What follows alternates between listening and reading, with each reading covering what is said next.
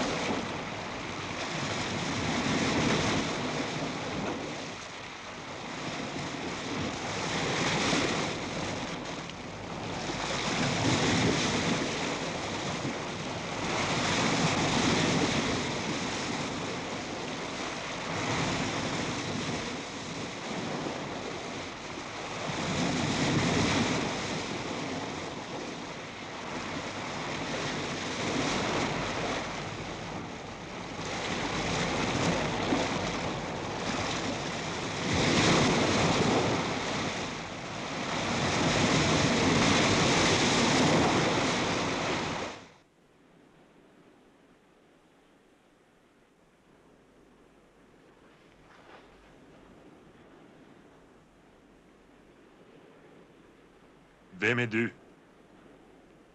Jag är döden. Kommer du för att hämta mig? Jag har redan länge gått vid din sida. Det vet jag. Är du beredd? Min kropp är rädd. Inte jag själv.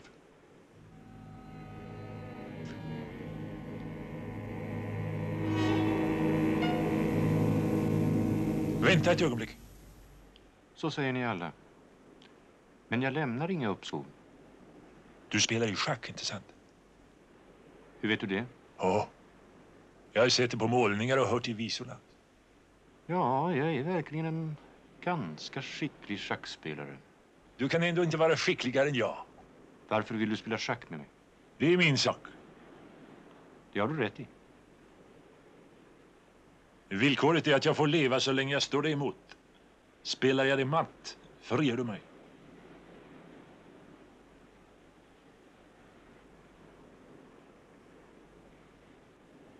Du fick svart. Det passar ju bäst så. Inte sant?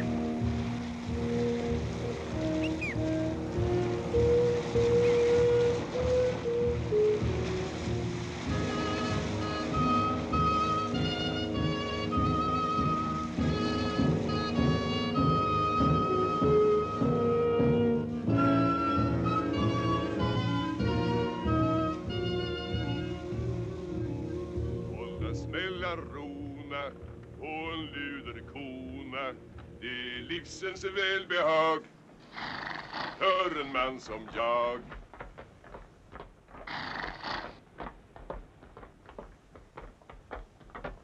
Upp till sitter herran, han är ganska fjärran.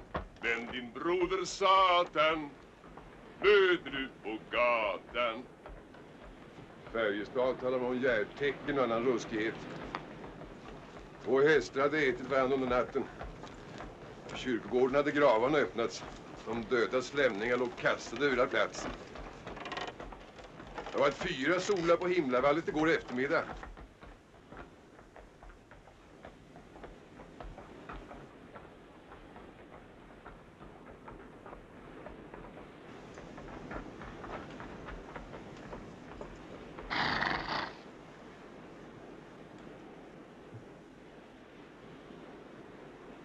Du säga vägen till värdshuset?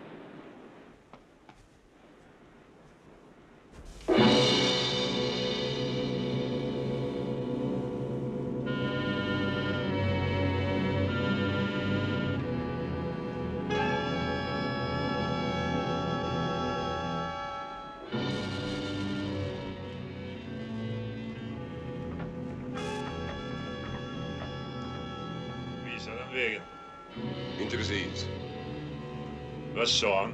Ingenting just. Var han stum? Nej, det kan man inte säga. Jag skulle snarare vilja påstå att han var högeligen vältalig. Jaså? Ja, vältalig. Men talet han höll var dystert. Det måste man säga.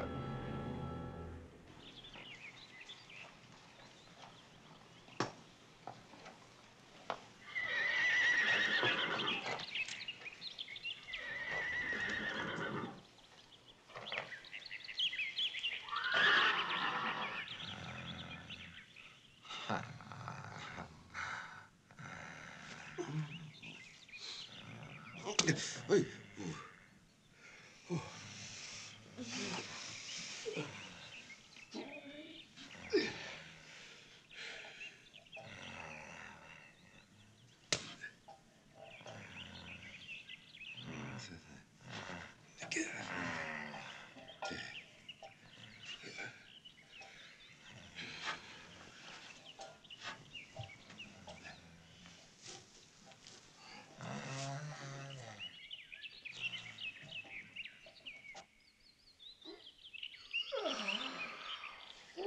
Oj.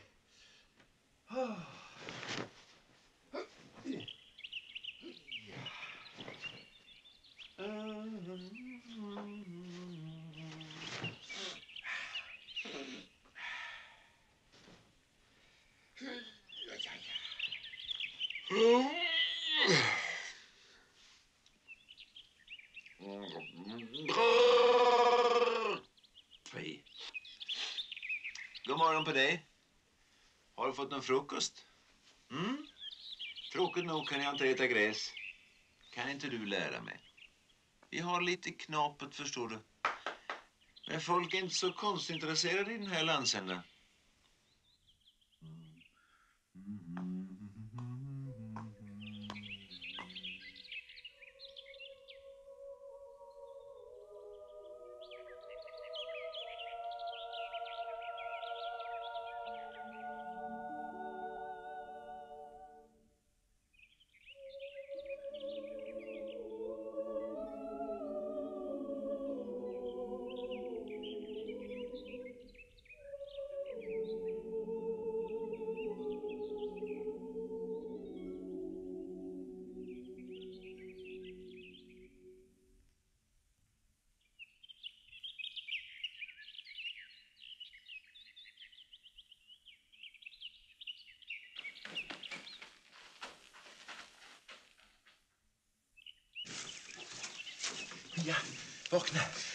Mia.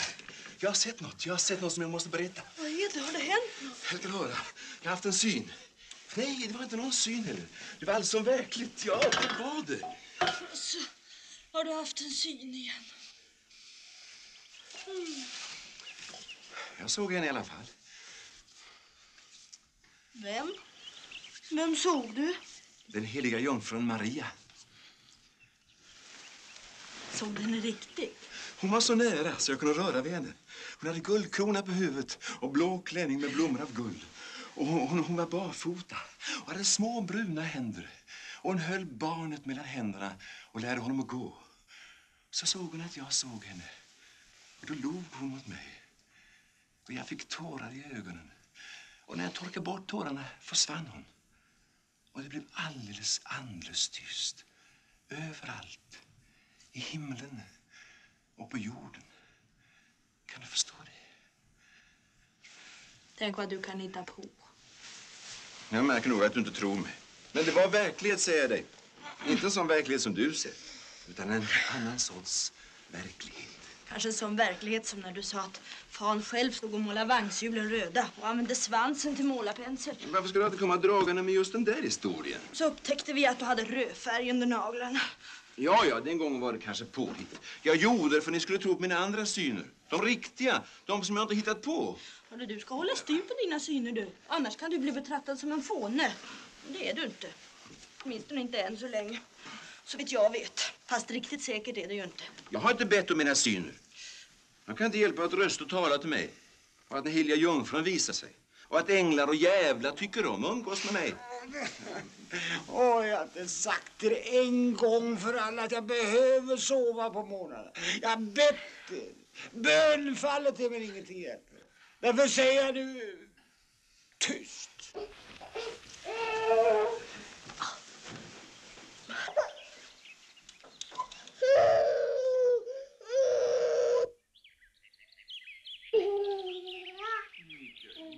Mikael, Mikael. Boj, boj, boj, boj, boj, boj.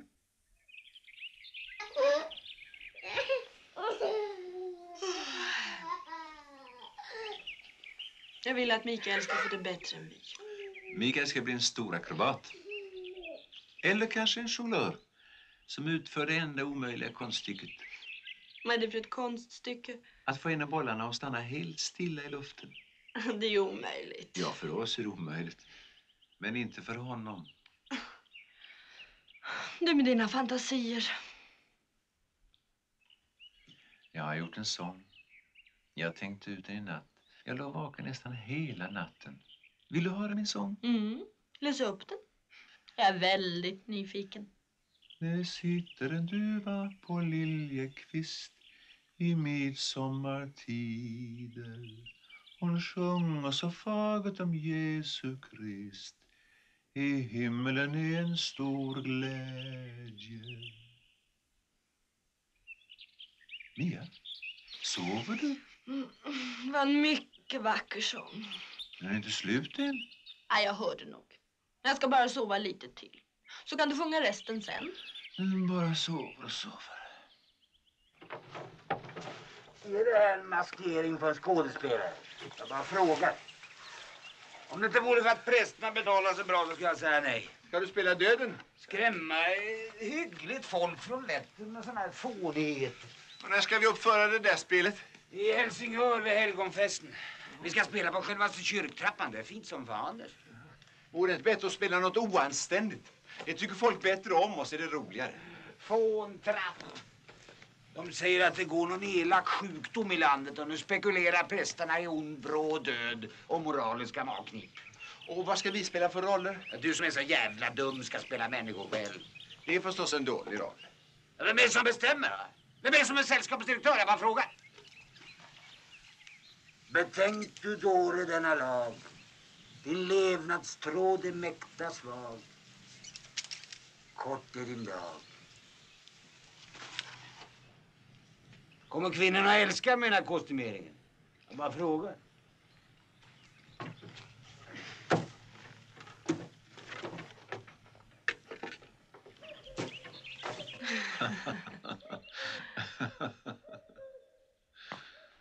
Ja, Ja, vad är det? stå alldeles stilla. Säg ingenting. Jag är tyst som muren. Jag älskar dig.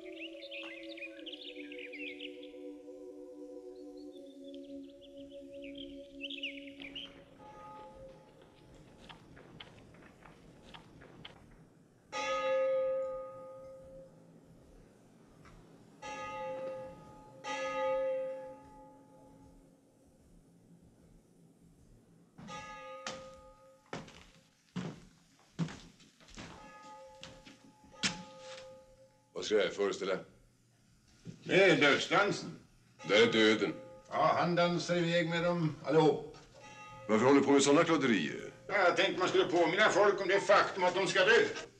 Gör mig inte gladare av Varför i helvete ska han alltid göra folk glada? Man kan ju skrämma dem lite ibland. Då blundar de och tittar inte på din tavla. Du kan tro de tittar. En dödskalle är mycket intressantare än ett naket fruntimmer. Ja, när du skrämmer dem. Ja, tänker de. Och de tänker. blir de ändå räddare. Kila galopp i fram på prästerna. Det är inte min sak. Bara måla din dödsdans du. Jag bara visar hur det är. Sen får var en göra som man vill. Tänk vad somligt folk ska bli förbannade på det. Jo, det händer alltid. Då målar jag strax något roligt. Man måste ju leva. Åtminstone tills pesten tar en. Pesten? Det var otäckt. Du skulle se bölden under en sjukes hals. Du skulle se hur kroppen dras samman så att lemmarna blir som rep av galenskap. Ser illa ut. Ja, det ser illa ut. Han försöker slita svulsten ur sin bädd.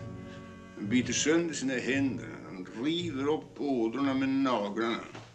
Hans skrik hörs överallt. Rädd? Rädd? Ja. Känner du inte mig? Målar där uppe för strunt? Ja, nu är det märkliga det att de stackars människorna ser farsoten som en Guds straffdom. Nu drar hopar av syndaträlar genom land och piskar sig själva och varann. Hör de till välbehag. Slår de sig själva? Ja, det är en otäck syn. Man går helst ner i diket och gömmer sig när de kommer på vägen. Jag har lite brännvin. Jag har druckit vatten hela dagen. Jag har blivit en törstig som en kamel ute i ökensanden. Jag tror du blir rädd i alla fall.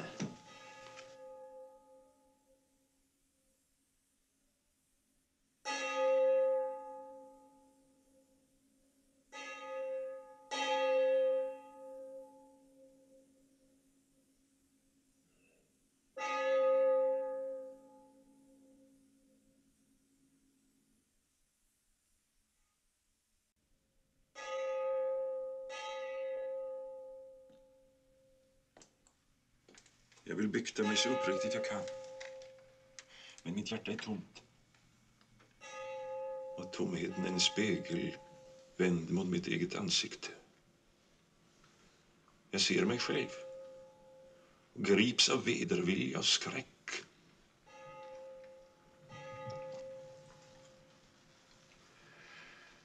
Genom min likgiltighet för människorna har jag ställts utanför deras gemenskap. Numera lever jag i en spökvärld, innesluten i mina drömmar och fantasier. Och trots det vill du inte dö. Jo, jag vill.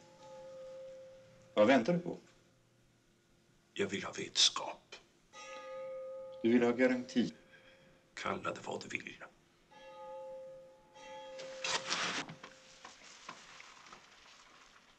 Är det så grymt otänkbart att fatta Gud med sina sinnen?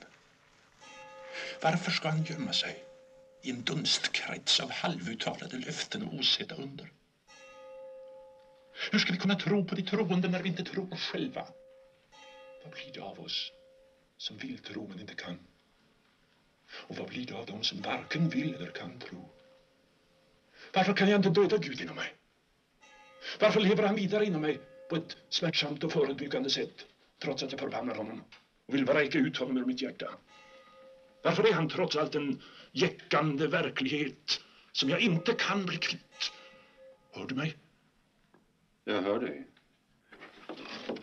Jag vill ha vetskap. Inte tro, inte antaganden, utan vetskap. Jag vill att Gud räcker med sin hand, avtäcker sitt ansikte och talar till mig. Men han tiger.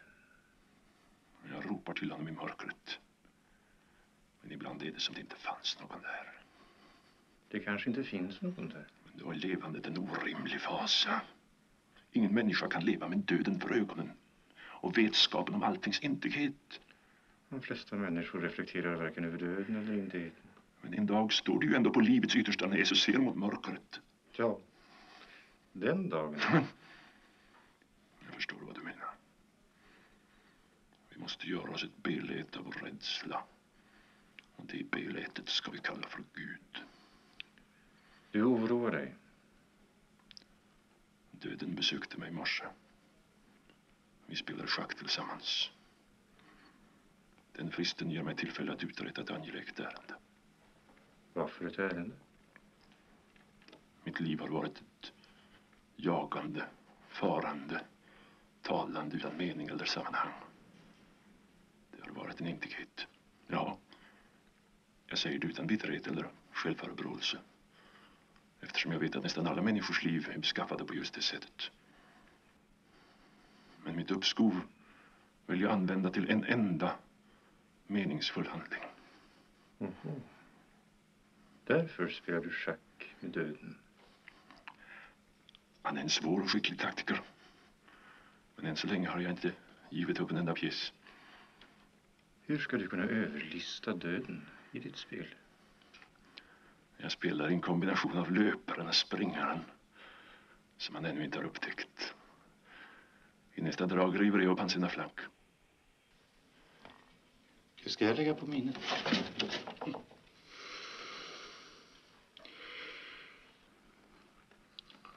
Du är en förrädare. Och du lurar mig. Men vi träffas väl igen. Jag ska nog finna en väg. Vi möts vid värdshuset. Där ska vi spela vidare.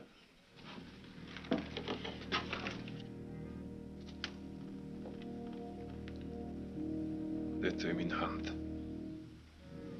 Jag kan röra den. Blodet pulserar i den. Solen står fortfarande högt på himlen. Och jag, jag, Antonius Block, spelar schack med döden. Jag och min herre varit utomlands, är just hemkomna. Förstår du, lilla Piktor? Korståget?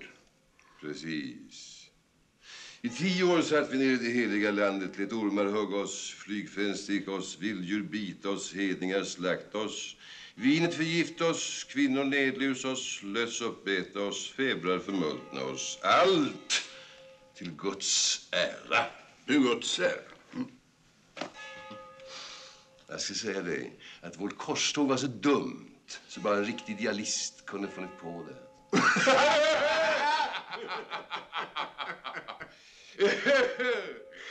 det där om pesten var otäckt. Värre än så? ja. Ack ja. Hur man vänder samman rumpan bak. Stor sanning. Rumpan bak.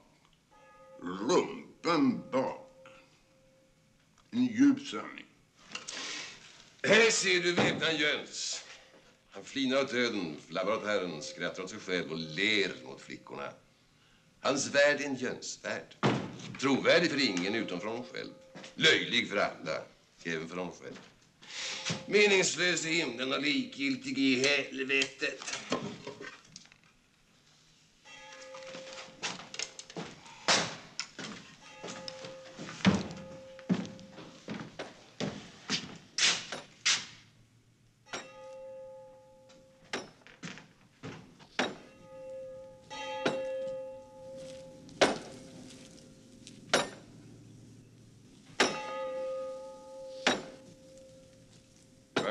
Lukt på din soppa. Vad ska det vara bra till?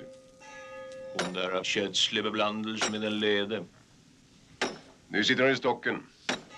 Hon ska brännas imorgon bitti upp i sockengränsen. Den går hålla djävulen ifrån oss andra. Det gör de där stinkande smörjan. Bästa medlet. Blod och galla av en stor svart hund. Den, on... den onde fördrar inte lukten. Inte jag heller.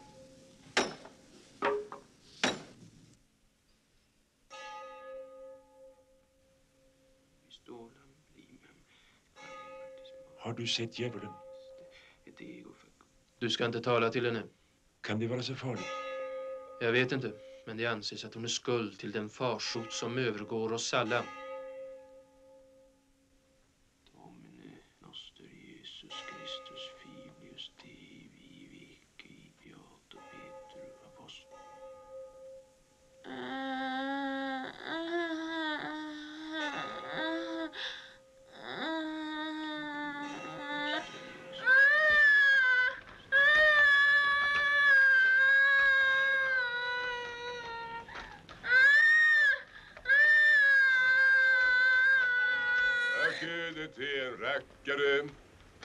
Själv min vän en stackare Än du spritter rask Än du krälar i en mask Måste du sjunga? Nej.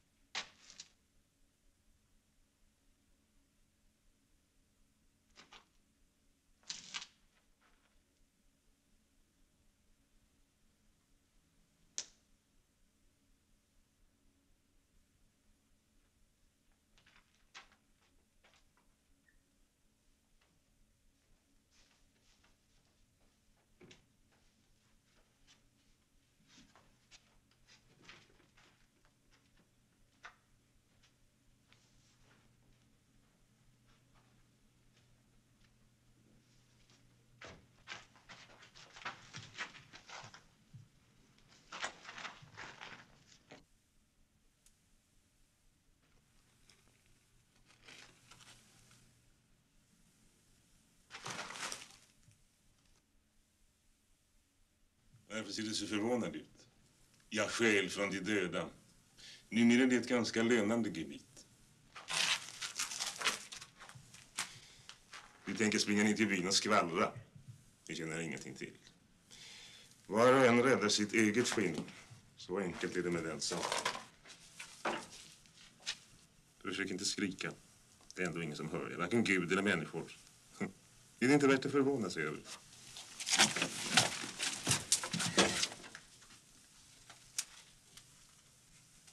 Jag känner igen dig, trots att det var länge sedan. Du heter Raval, från prästseminariet i Roskilde. Du är doktor Mirabilis Celestis et Diabilis. Har jag inte rätt? Det var du som för tio år sedan övertygade min herre om nödvändigheten att dra till det heliga landet på ett finare korståg. Är du orolig? Fick du ont i magen? Förstår jag plötsligt meningen med de här tio åren som förut tycks mig bortkastat till ingen nytta. Vi hade för bra. Vi var för nöjda. Herren ville tukta vårt belåtna högmod. Därför sände han dig. Du spydde ditt himmelska ätter och förgiftade riddaren. Jag är i god tro. Nu vet du bättre, inte sant? Då har du blivit tjuv istället. En lämpligare och mer välanpassad syssla i denna värld för uslingar och skurkar. Har jag inte rätt? Fradil, jag är inte blodtörstig. Kom ihåg en sak. Nästa gång vi råkar så ska jag märka det ansikte som man gör med små skurkar av din sort. Egentligen kommer jag för att få min vattensäck fylld.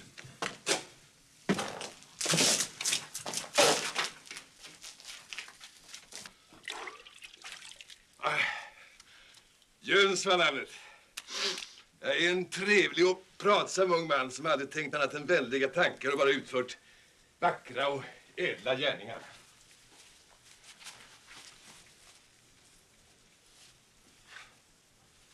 Farväl min flicka. Jag kunde ha våldtagit dig. Och så är jag trött på den sortens kärlek. Det blir lite torrt i längden.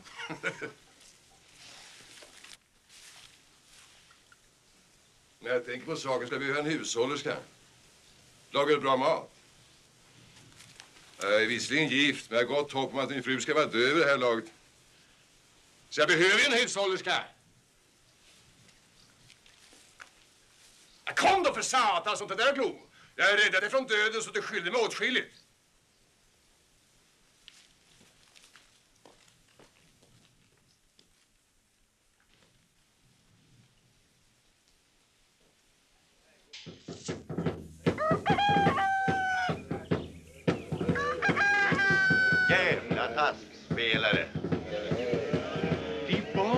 Bara åbäkar sig.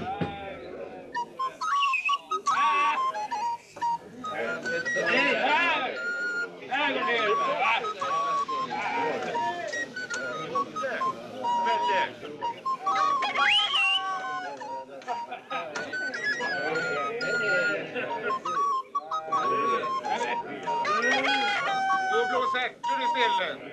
Då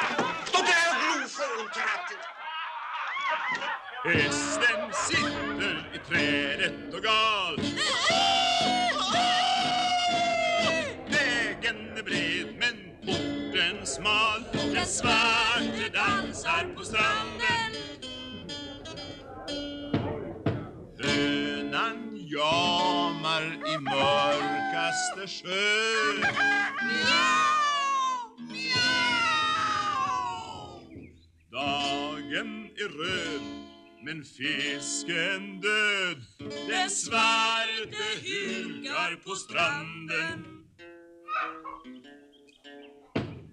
Ormen flaxar i himmelens höjd. Oho, oho! Jungfrun är blek men musen nöjd. Den svarte ränner på stranden. Bocken väser med tänderna två.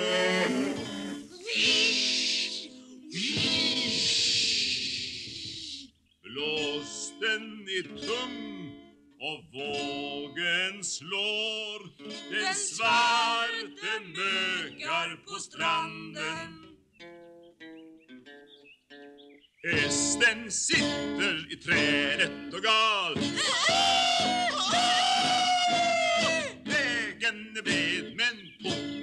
Smal. Den svarte dansar på stranden. Hönan jamar i mörkaste sjö.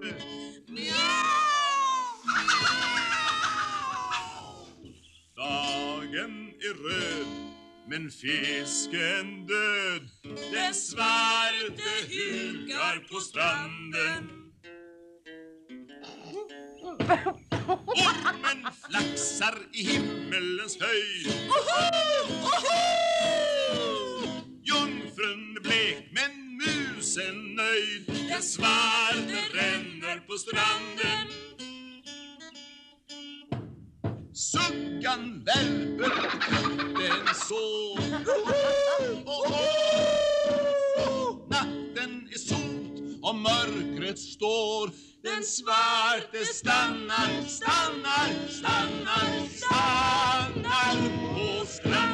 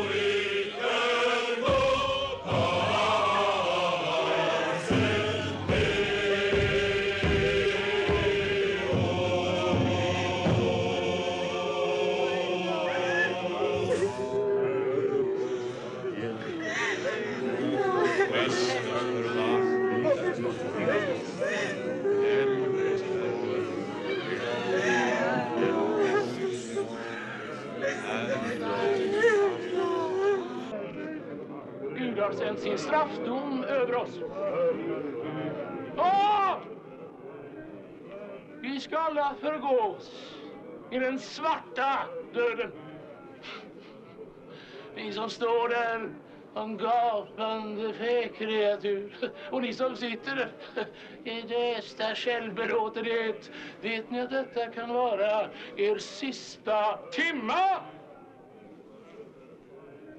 Döden står bakom er rygg. Jag kan se hur hans hjässa blänker i solen. Hans lie blixtrar när han höjer den bakom era huvuden. Vem av er ska han drabba först? Du där, så det blygar som en get. Ska din mun innan kvällen förvridas? En sista oavslutade gäspningen. Du kvinna som blomstrar av livets lust och välbehag. Ska du blekna och slockna innan morgonen gryr?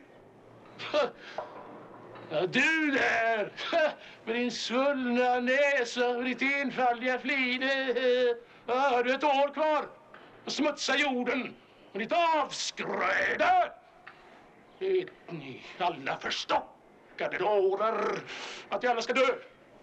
Idag, eller imorgon, eller nästa dag, därför vi alla är dömda. Hör ni vad jag säger? Hör ni ordet? Dömda, dömda, dömda! Förbarma dig över oss i vår förnedring.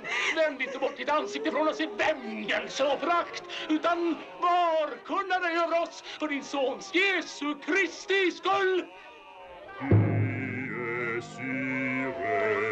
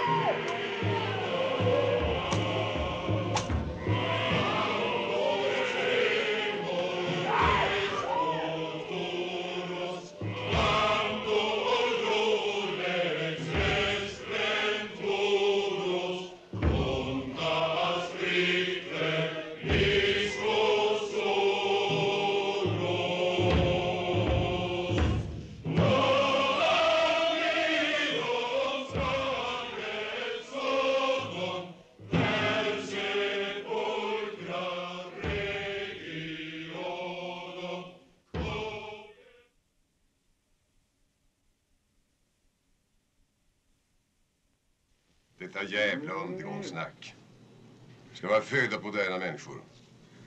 Tror de verkligen att vi ska ta dem på allvar? Ja, nu flinar du åt mig, herre. Tillåt mig påpeka att jag läst, hört, upplevt de flesta sagorna vi människor berättar för er. Ja, ja. Ja, ja. Se, de är spökhistorierna om Gud fader, änglarna, Jesus Kristus och den heliga ande har inhämtat utan större sinnesrörelser. Ha! Vad skriker du för? Jag är smeden Plog och du är väpnaren Jöns. Det är möjligt. Har du sett till min hustru? Nej, det har jag inte. Men om jag hade sett när hon liknade dig så skulle jag skynda mig att glömma bort att jag hade sett henne. Så då har du inte sett henne? Hon kanske har rymt. Vet du någonting? En hel del. Men ingenting om din hustru. Gå in på krogen kan du få besked.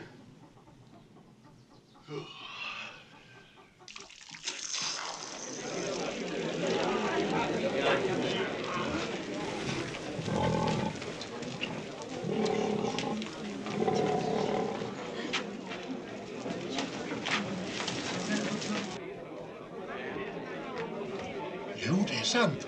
Pesten drar fram ut på hela västra kusten. Folk dör som flugor. Ja, annars brukar man kunna göra fina affärer vid den här årstiden. Men jag har förbanne mig hela mitt lager osålt. Hon talar om yttersta dagen. Och nog är det hemskt med alla hjärtecken. De har sett en kvinna nere i byn har fött ett kalvhuvud. Människorna är som galna och flyr uppåt landet och drar pesten med sig vart de kommer. Ja, om det är som de säger så får man väl se om sitt hus och leva glatt så länge man går på sina upprätta ben. Det är många som har renat sig med eld och dött av det.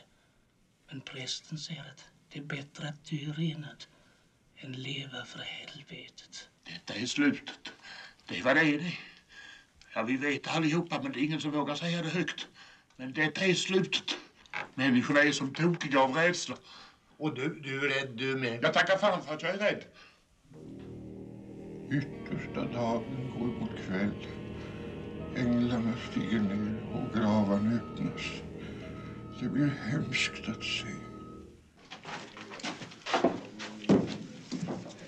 Ska du ha den här ringen? Du får den billig. Jag har inte råd. Det är silver. Ja, den är fin, men den är säkert för dyr för mig. Förlåt, men har någon av herrarna sett min hustru? Har han kommit bort? Hon har rymt, säger de. Har stuckit iväg? Med en skådespelare. En skådespelare? Har han så dålig smak så tycker jag du ska låta henne löpa. Du har alldeles rätt. Min tanke var förstås närmast att jag skulle slå ihjäl henne. Alltså på det viset. Mörda henne, ja, det är en helt annan sak. Jag ska slå ihjäl skådespelaren också. Skådespelaren? Ja, visst. Den som hon har rymt med. Varför det? Har du svårt för att fatta? Ja, så skådespelare. Nu förstår jag, ja. Sådana finns det alldeles för många. Så även om man inte har gjort något särskilt så tycker jag du borde slå ihjäl honom bara för att han är skådespelare. Hörru du. Du sitter här och ljuger i smeden. Ja, ljuger jag. Du är också skådespelare. Och det är väl din kumpan som snappat iväg en plogskärring. Är du skådespelare du också? Jag skådespelare? Det är verkligen så lite. Då borde vi ju slå ihjäl dig. Det är logiskt. Du är lustig du. Vad fasligt vad du blir blek. Har du något på samvetet? Du är lustig du. Tycker inte du också att han är lustig? Jag ser inte det, nej. Vi skulle kanske märka det lite med kniven. Som man gör med små skurkar din sak. Vad har du gjort av min fru?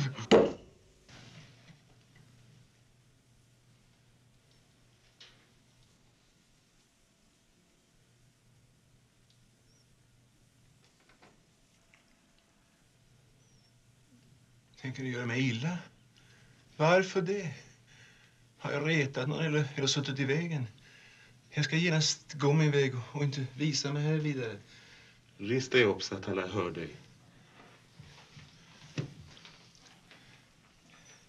Tala högre. Stå på huvudet. Får vi se om du är en duktig skådespelare.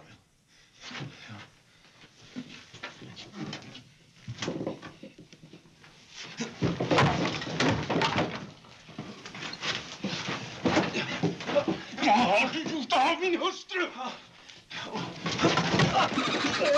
Ligg inte där och gnäll. Upp och dansa. Jag, jag, jag vill inte, jag kan inte. Du ska härma en björn. Jag kan inte härma en björn. Det är du inte kan i alla fall.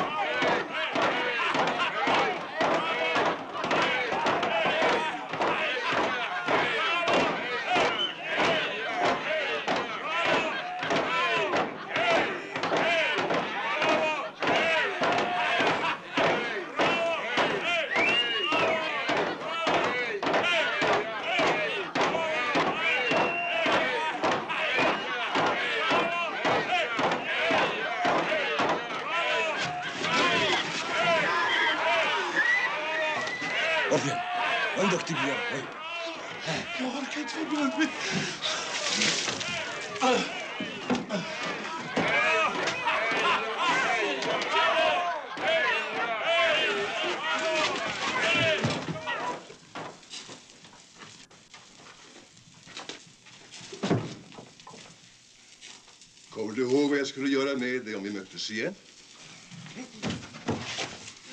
Jag är Nordholmen för.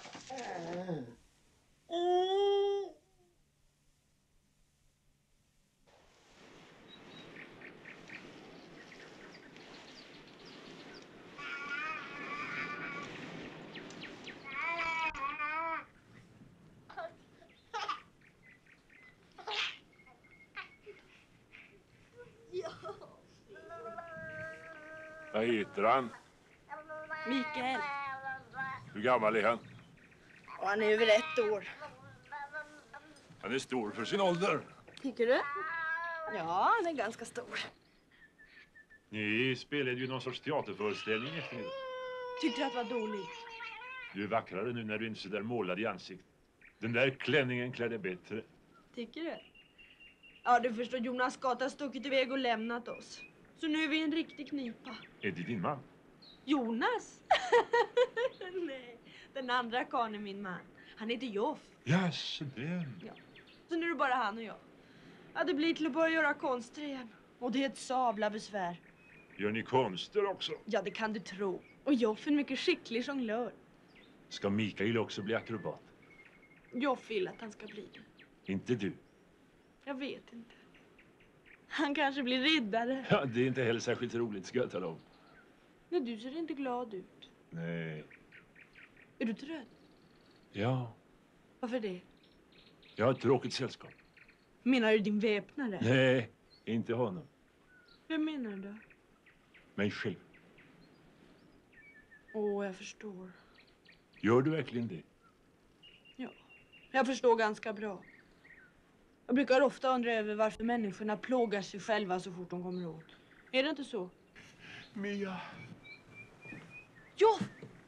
Joff, vad är det? Joff! Nej men snälla Joff, vad har du gjort? Har du Kom, kom och sätt dig här. Var har du, har du varit någonstans?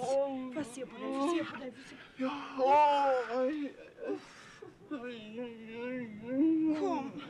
Ja, vad skulle du på krogen att göra? Och så söp du förstås. Åh, aj, aj, jag, jag, jag söp inte det minsta. Satt och skröt om dina änglar och jävlar som du umgås med. Folk tycker inte om dem som har för många idéer och fantasier. Jag sa förbanne mig inte ett ord om änglar. Jag vill väl gå och sjunga och dansa. Tänk att du aldrig kan låta bli att spela teater. Folk blir arga för sånt också, det vet du. Titta här vad, titta här vad, jag, vad jag har köpt åt dig. Ja.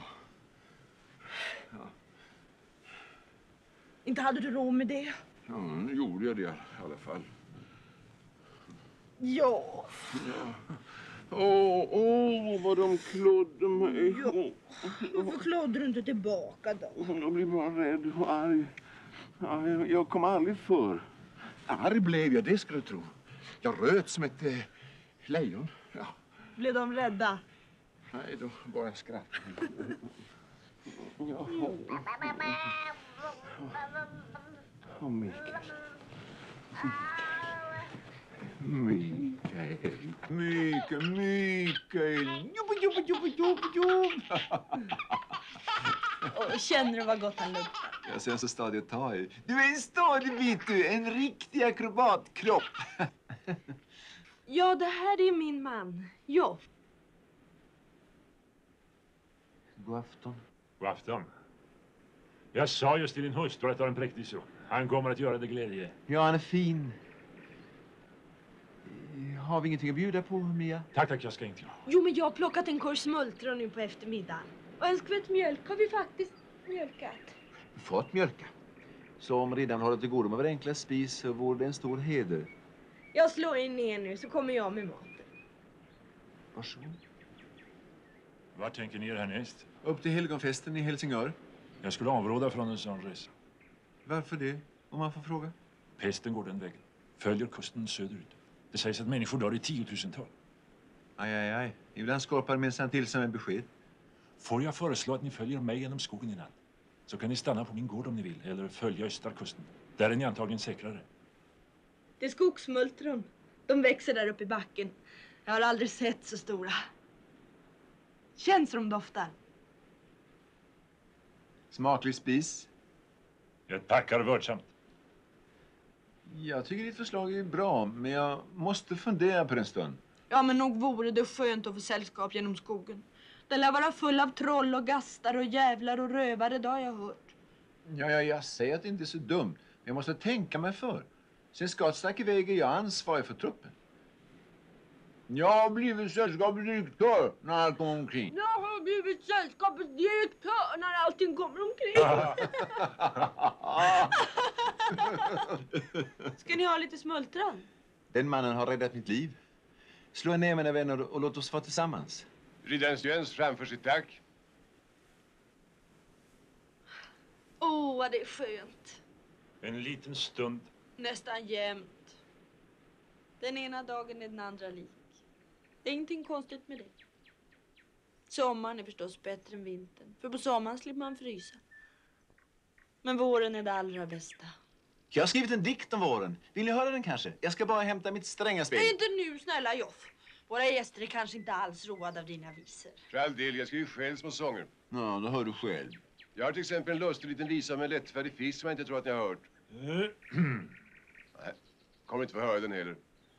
Det finns personer som inte uppskattar min konst. Jag vill ogärna plåga någon. Jag är en känslig själ. Man oroar sig för så mycket. Det är alltid bättre när man är två.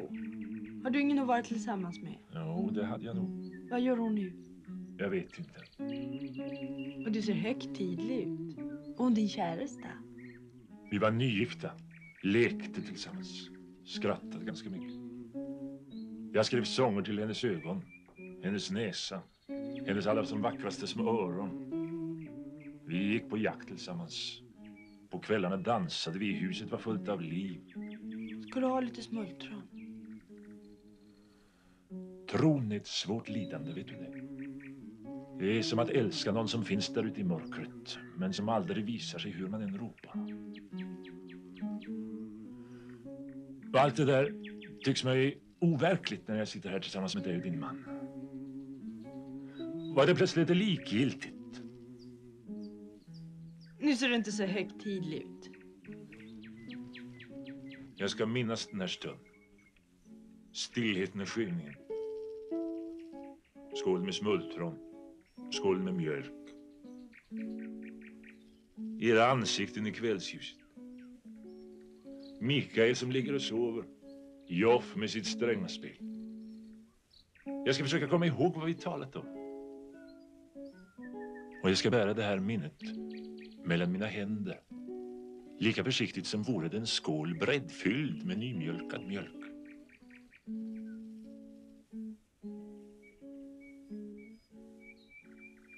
Och detta ska vara mig ett tecken. Och en stor tillräcklighet.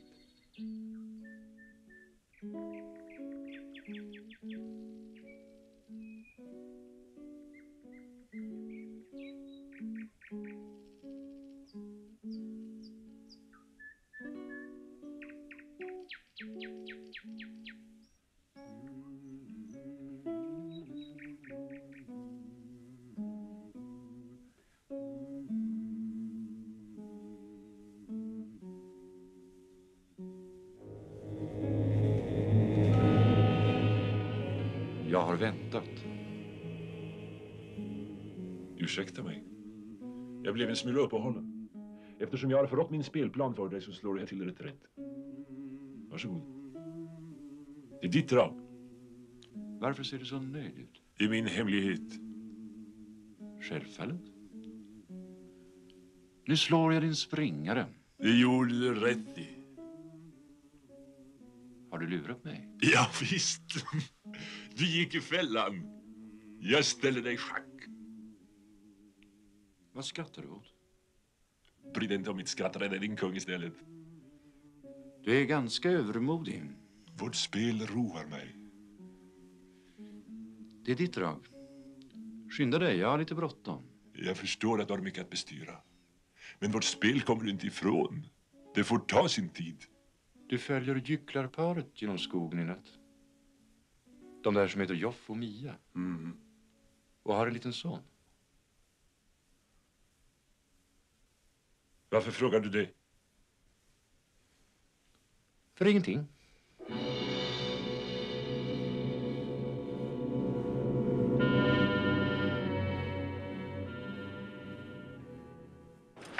Har du sett till Jöns? Vi måste iväg. Ja, jag tror bestämt han är inne på värdshuset. Herregud i himlen. Är det inte smeden Plog? God afton. Sitter du där och likar i din ensamhet? Åh, titta på smeden. Han tjuter och jämrar som en pissdränkt kanin. Är det frun fortfarande? Ja, jag har inte hittat Ja, det är ett helvete med kvinnor och ett helvete utan kvinnor. Så hur man resonerar ändå mest logiskt och slår ihjäl dem medan det är som roligast. Kärringtjat och svinmat. Barnskrik och pissblöjor. Vassa naglar och spydigheter. Hugg och slag och fans moster och svärmor. Och så när man ska lägga sig och sova. Blir det en ny melodi? Tårar, gnäll och jämringar i himlens höjd. Varför kysser de inte godnatt? Varför sjunger inte en sång? Varför älskar de inte som när vi träffades först? Varför tittar den på min nya särk? Bara vänder ryggen till och snarkar. Fy fan. Fy fan. Nu är hon borta. Lär dig. Jag ska knipa dem i näsan med tången. Jag ska bunta dem på bröstkorgen med lilla hammaren.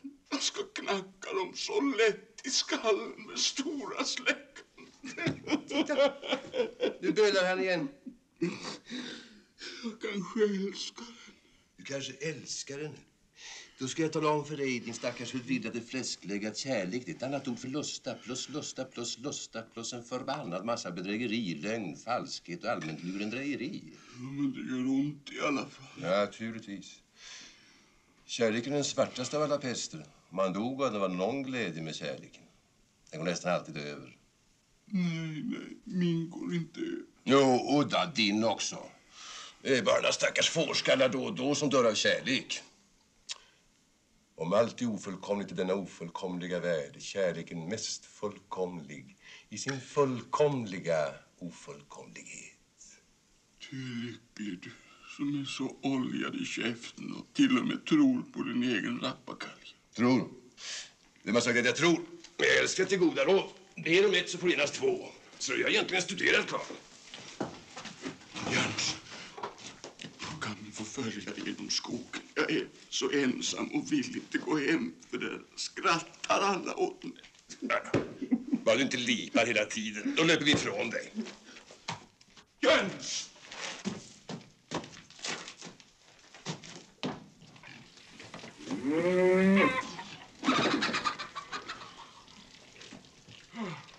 Lillebroder. Akta dig Jöns. Han vill bara slåss. Han är inte riktigt klok. Nej, nu lipar han i alla fall. Jag är verkligen ledsen om jag gjorde det illa. Men jag har ett sånt förbannat temperament, förstår du. Ta mig i hand. Kom i min famn, lillebroder. Ja, tack, tack. L lite senare kanske. Nu har vi faktiskt bråttom. Tack, tack. Tack, tack.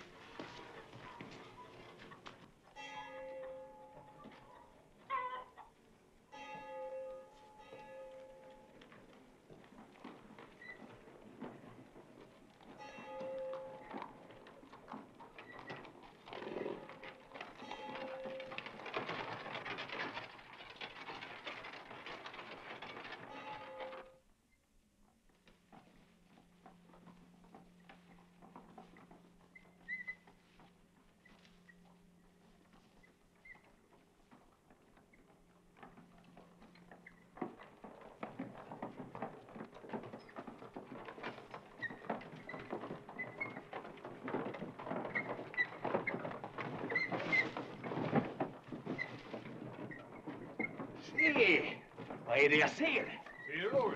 Vem är det som skymtar fram där borta i skogens bryn? Om inte min högt ärade med vidhängande aktör. Där!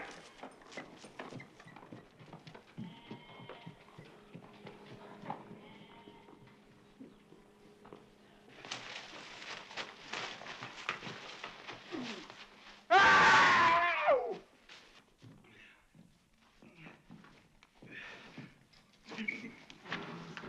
Akta dig! Du är således den smutsiga smeden som förolämpat min älskade dam, den allra som skönaste Kunigunda. Vad sa du hon hette, sa du? Kunigunda, har du blivit döv nu också? Kunigunda. Lisa heter hon. Lisa Tok eller Snok eller Slampa. Lisa Drolös, Habba-Lisa, Rump-Lisa. Åh, vad han är rå! Eller något bra på snusk som du själv kan hitta på din lilla förgyllda stjärt, Johan. Åh, vad han är rå! Du hiskligt snaggare bastarda, sju skabbiga byracker. Om jag vore i dina lusiga palter skulle jag drabbas av en sån gränslös skam över min person att jag strax befriade naturen från min generande uppsyn. Passa dig, din parfymerade... Stabbedask. Slappidask. Så jag inte lägger av en fjärt som tvärt på ögonblicket förde ner till taskspelarnas eget glödheta. Där ni kan sitta tillhopa och... Eh, Läsa monologer. läsa monologer för varann tills det dammar ur öronen på fan själv. Bra prov. Akta dig så jag inte piper i magen så tarmarna far ut genom öronen. Akta dig så jag inte lägger dig på käften så att du inte ens kan göra dina konster för eh, turkar och karnevaler. Vad skrattar du åt? Det här är ju högst allvarligt. I de sydliga länderna finns det en sorts människoliknande djur som kallas apor. Och vad är det med det då? Ja, var bara det. Plog, lilla plogen min. Va? Mm, lilla rara plog, förlåt mig för allting. Om ett ögonblick börjar hon gråta. Jag måste gråta, det är så hemskt allting. Och den där herrn har lurat mig så förskräckligt så det kan du inte tro. Kunde Kunigunda, om nu sanningen ska fram så... Snart kommer talet om älsklingsrätterna. Vänta bara. Lille plog, när vi kommer hem så ska jag laga kroppkakor åt dig med rotmos och lingon som är det bästa du vet. Inte sant, lille plog? Ja, men först måste jag slå ihjäl honom där. Ja, visst, slå ihjäl honom bara. Slå ihjäl honom riktigt ordentligt. Åh, oh, tycker inte alls om honom längre. Milde Herre Gud, varför gav du oss kvinnan? Vet du vad han är? Bara lösskägg, löständer, falska leenden och inlärda tonfall och tom som en burk. Oh, slå ihjäl honom du. Kära plog, om du trodde att jag skulle hålla något försvarstal för min så kallade verklighet så misstog du dig. Slå ihjäl mig bara. Jag kommer att tacka dig efteråt. Vad säger du? Skådespelare skapar gripenhet och förvirring. Det är redan en halv seger. Men gör någonting, stå inte bara där och glo. Han måste ju slåss med mig, annars kan jag inte slå ihjäl honom. Han måste åtminstone reta upp mig så jag blir lika arg som nyss. Kära vän, jag sänker denna dolk i mitt bröst. Och min overklighet kommer raskt att övergå till en ny solid verklighet. Likets absoluta påtaglighet. Nej, vänta lite nu. Jag, jag menar ju inte så illa. Jag förlåter dig, Kunigunda. Farväl, min vän. Bed för mig någon gång.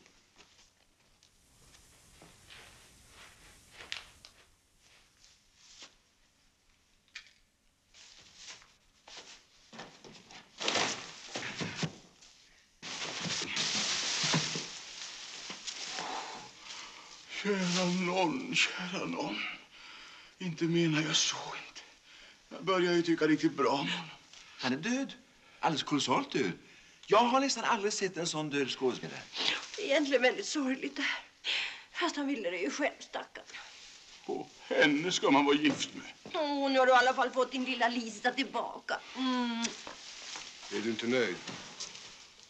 Hörgörs, i största förtroende. Är inte livet ganska... Jo, det är det. Men tänk inte på det nu. Det är kolligt. Det är vad det är.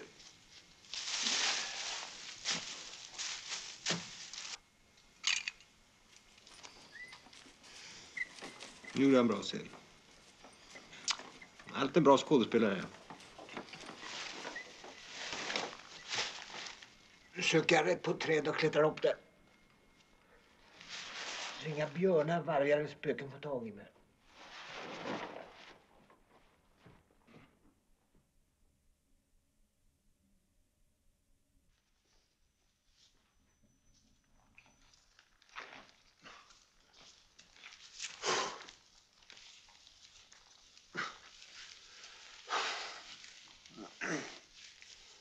Imorgon söker jag upp Joff och Mia. Och sen får vi till helgonfesten i Helsingör. Ska jag sjunga en liten sång för mig själv? Jag är en liten fågelett som sjunger hur han vill. Hantverkare skogen, var skönt.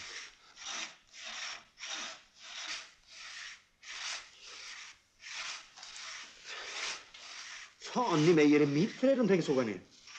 Hörru din förpuppade taskfrans! Vad tänker du göra med mitt trä, va?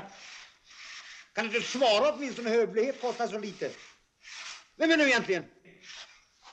Jag sågar ner ditt träd. Eftersom din tid är ute. Det, det går inte, jag har inte tid. Har du inte tid? Nej, jag har min föreställning. Nej, den är inställd. På grund av dödsfall. Men min kontrakt? Det är uppsagt. Min familj, mina barn. Åh, fy skämskap. Jag, jag, jag skäms, jag, jag skäms, jag skäms.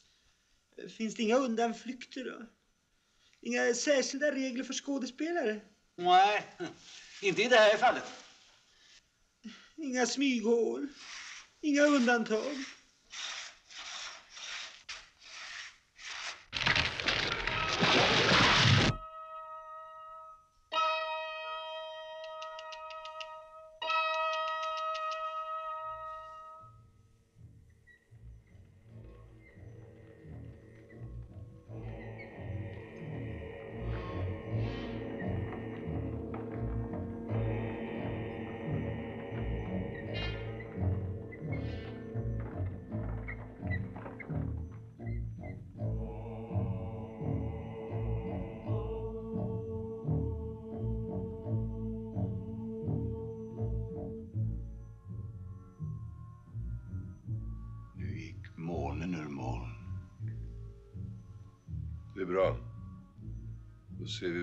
Bättre.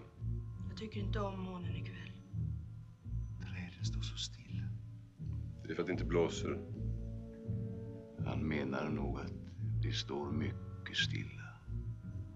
Det är alldeles tyst. Om man åtminstone hör en räv. Eller en uggla. Eller en människoröst. Utom sin egen.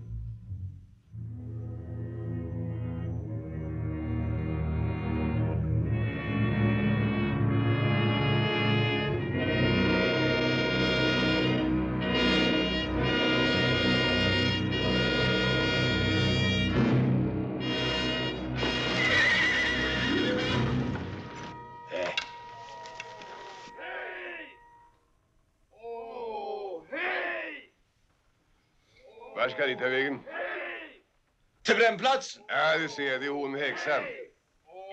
Varför bränner så här mitt i natten? Folk har sånt om förströelse nu för tiden. Tyst för alla i eh, helgon. Djävulen är så överallt. Då är herrarna således åtta modiga herrar. Nå, man har fått betalt. Uppdrag var ju frivilligt.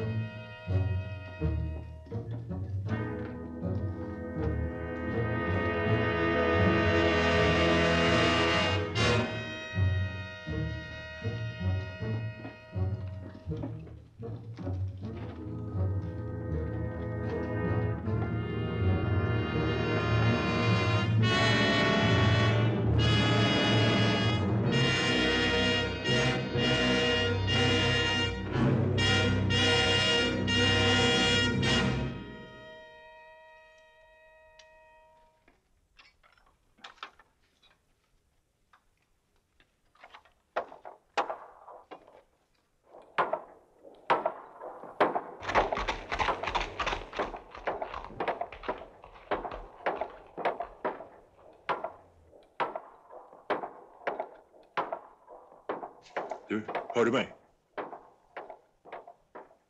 De säger att du varit i lag med djävulen. Varför frågar du det?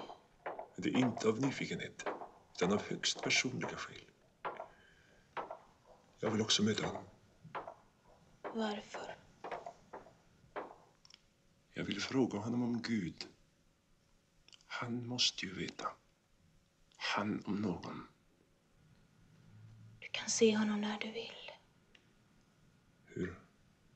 Men då måste du göra som jag säger. Se in i mina ögon. Nå, ser du? Ser du honom? Jag ser en stel skräck i dina ögon. Ingenting annat. Ingen. Ingenting. Ingen. Nej. Står han inte heller bakom din rygg? Nej.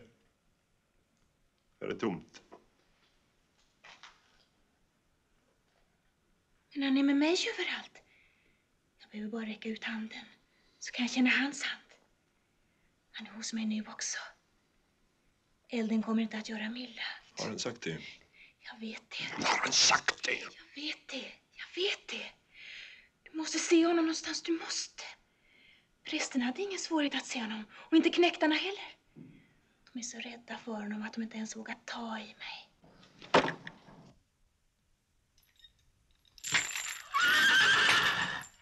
Varför har ni krossat hennes händer? Det är inte vi. Vem? Fråga munken där. Vad har du gjort med flickan?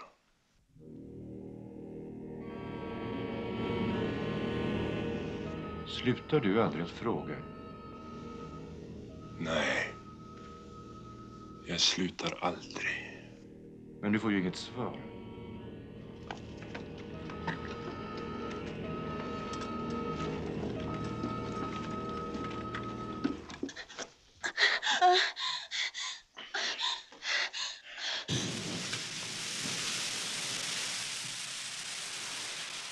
Jag funderar ett tag på om vi ska slå ihjäl knektarna. Det tjänar inte mycket till, hon är nästan död redan. Jag har sagt att ni ska akta er! Kom inte nära henne!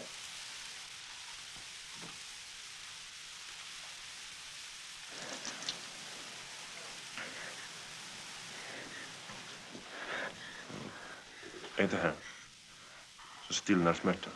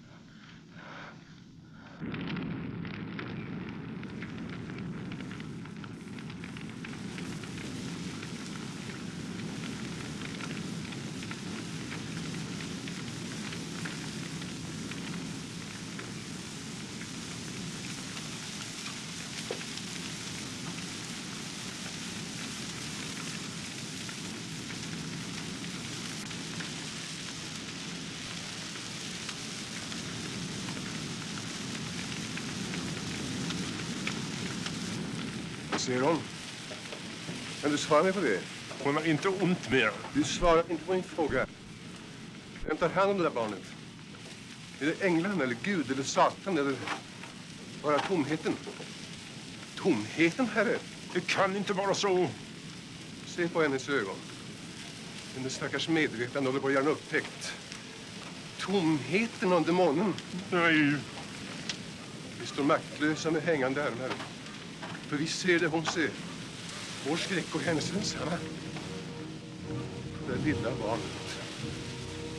Jag gitter inte, jag gitter inte.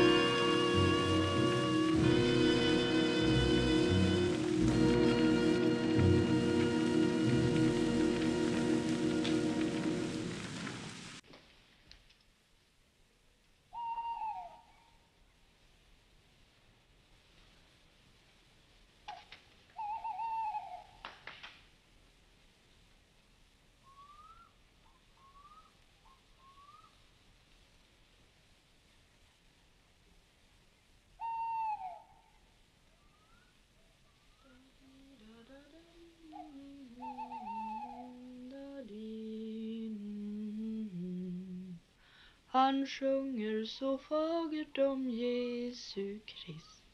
I himmelen är en stor glädje. Snart kommer gryningen.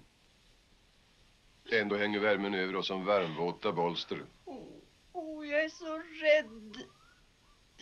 Vi känner att det ska hända oss något. men Vi vet inte vad det är. Kanske den yttersta dagen. Den yttersta dagen.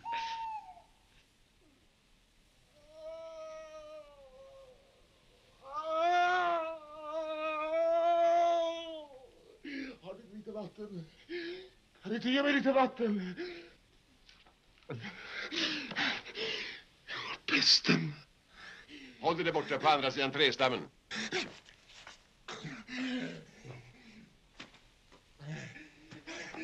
Jag är rädd för att dö!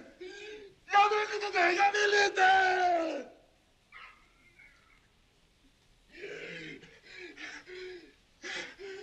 Kan inte förbarma er över mig? Hjälp mig! Tala åtminstone med mig!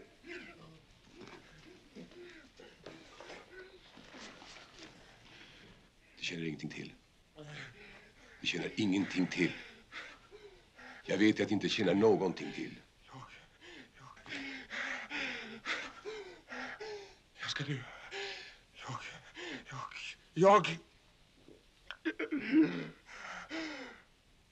Vad ska hända med mig? Kan ni inte trösta mig? Har ni inte lite barmhärtighet? Ser ni inte att jag... Är det ingen... Ta lite vatten. Det är meningslöst. Det är fullständigt meningslöst. Jag säger att det är meningslöst. Hjälp mig! Hör du inte att jag tröstar dig? Ah!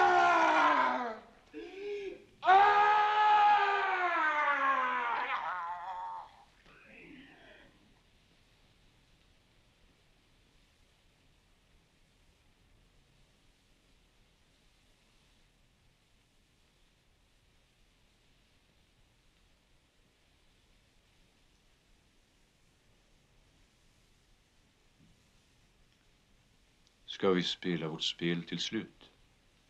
Det är ditt drag.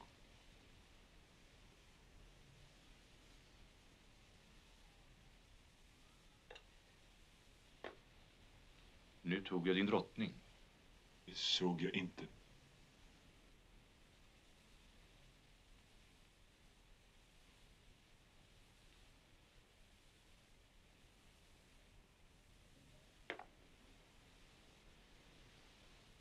Mia, Vad är det? Ser något hemskt. Något som jag nästan inte kan tala om. Vad ser du? Riddaren sitter där borta och spelar schack. Ja, det ser jag också. Det är väl inte så förskräckligt hemskt. Ser du inte vem han spelar med? Han sitter där ensam. Du får inte skrämmas Nej, där. nej, nej, nej, nej, han är inte ensam. Mer då? Döden. Han sitter där borta och spelar med döden själv. Får inte säga så. Vi måste försöka komma undan. Inte kan man det. Vi måste försöka. De är så upptagna av sitt spel. Om vi ger oss av helt tyst märker de oss inte.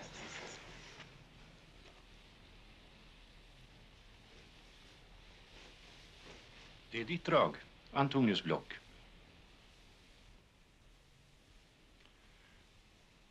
Har du tappat intresset för vårt spel?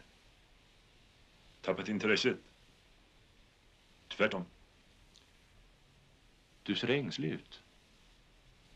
Döljer du något?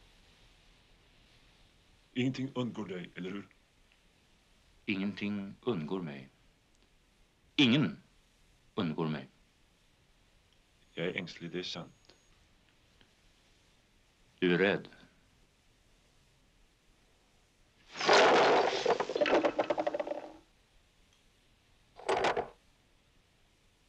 Jag har glömt hur pjäserna stod. Men jag har inte glömt. Så lätt ska du inte slippa undan.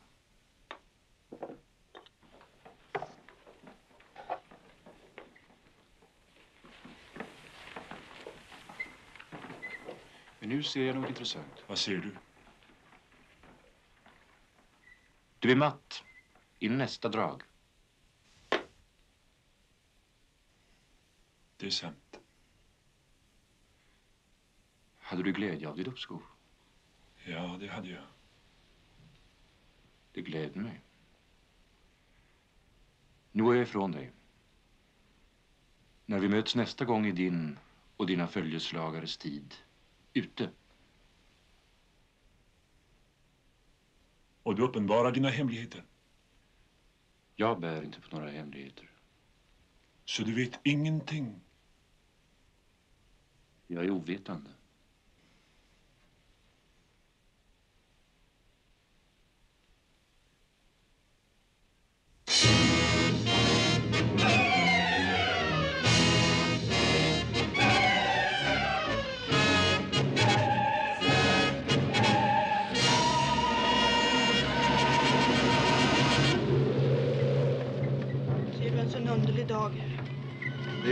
Åskan som kommer i gryningen.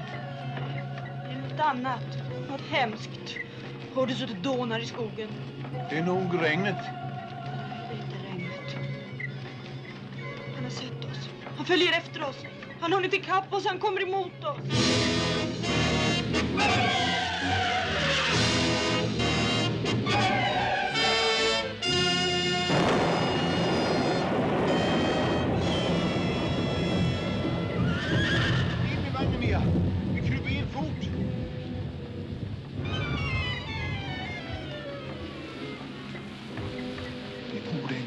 Mordängeln oss, Mia.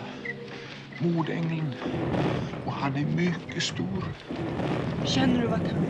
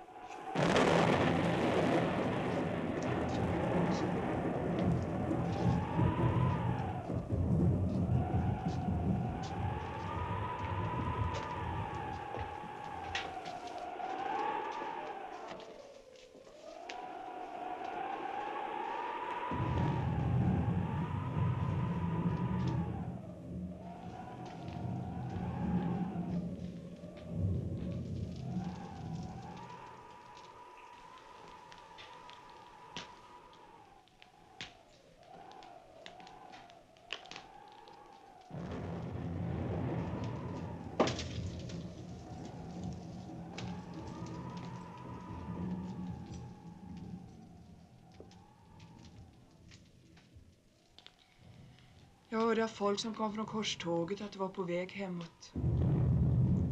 Jag har väntat dig här. Alla de andra har flytt för pesten.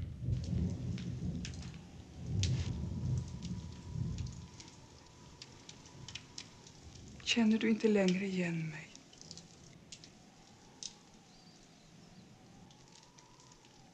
Du har också förändrats.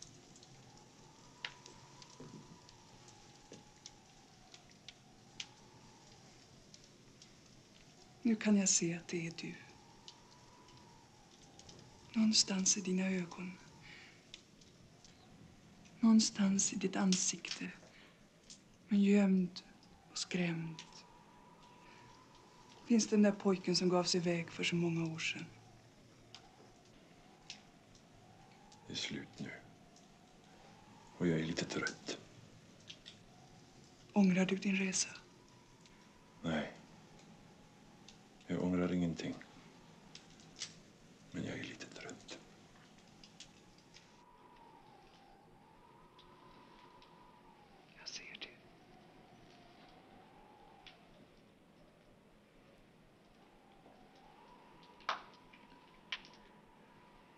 Där borta står mina vänner. Led dem komma in. Jag ska duka till morgonbard.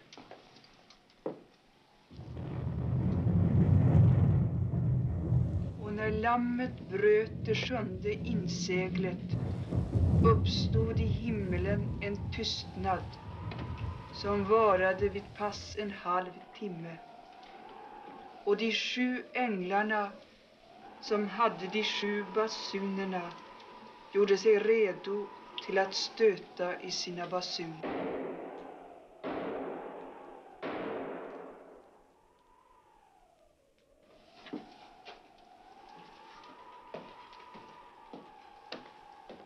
Och den första stötte i sin basun.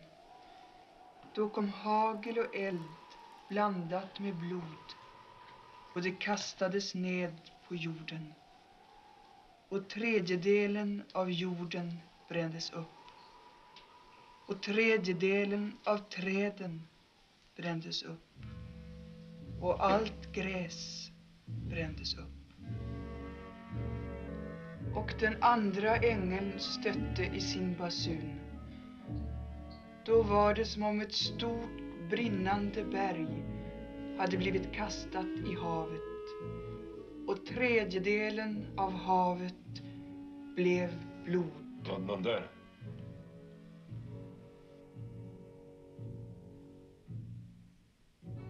Nej, herre. Jag såg ingen. Och den tredje ängeln stötte i sin basun. Då föll från himlen en stor stjärna brinnande så som ett bloss. Och stjärnans namn var malört.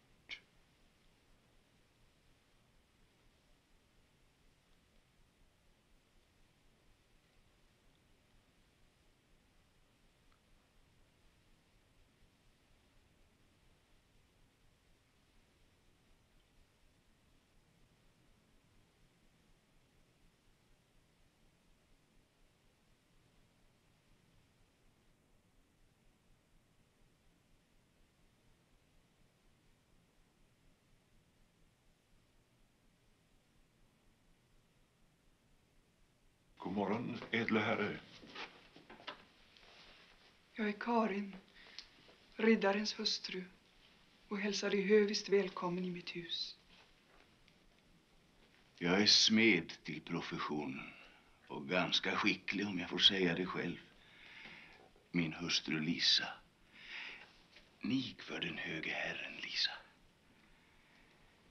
Är lite svår att tas med ibland och vi har haft lite kalabalik så att säga. Men inte värre än de flesta människor. Ur vårt mörker ropar vi till dig, Herre. O Gud, ha förbarmande med oss. För vi är små och rädda och utan vetskap. I det mörker där du påstår att du vistas, där vi alla förmodligen vistas, i det mörkret finner du ingen som lyssnar till din klagan eller rör sig dina lidanden. Tvätta dina tårar och spegla din likgiltighet. Gud, du som finns någonstans, som måste finnas någonstans. Ha förbarmande med oss. Mig kunde du fått en ört att laxera ut dina evighetsbesvär. Nu tycks det vara för sent. Men känn i alla fall den sista minuten, den oerhörda triumfen att rulla med ögonen och röra på tårna. Tyst, tyst. Jag ska vara tyst. Men under protest.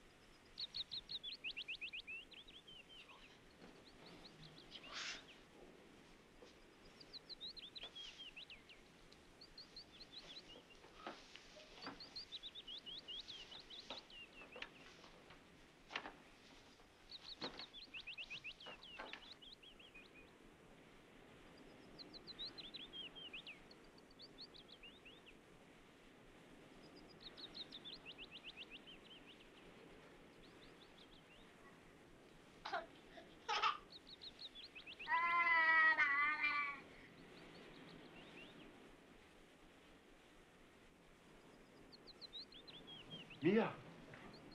Jag ser dem, Mia. Jag ser dem. Där borta på den mörka ovädershimlen. De är där allihop. Smeden och Lisa och riddaren Raval och Jöns och Skat. Och den stränga herren, döden, bjuder dem till dans. Han vill att de ska hålla varandra i händerna. Och så ska de tråda dansen i en långa rad. Och först går den stränga herren med, med lie och timglas. Men Skad, han, han slinker på sladden med sitt stränga spel. De träder bortåt. Bort från gryningen i en högtidlig dans. Bort mot de mörka landen.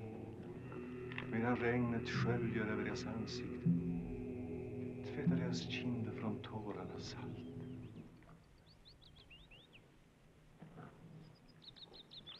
Du med dina drömmar och syner.